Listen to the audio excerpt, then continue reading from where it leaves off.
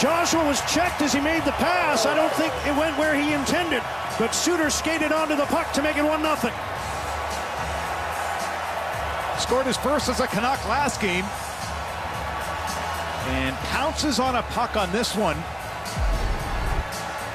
A little bit of a broken play in the neutral zone, and then Suter's going to move it up and across after it goes off the skate of Heiskanen right to the stick of Suter and wastes no time.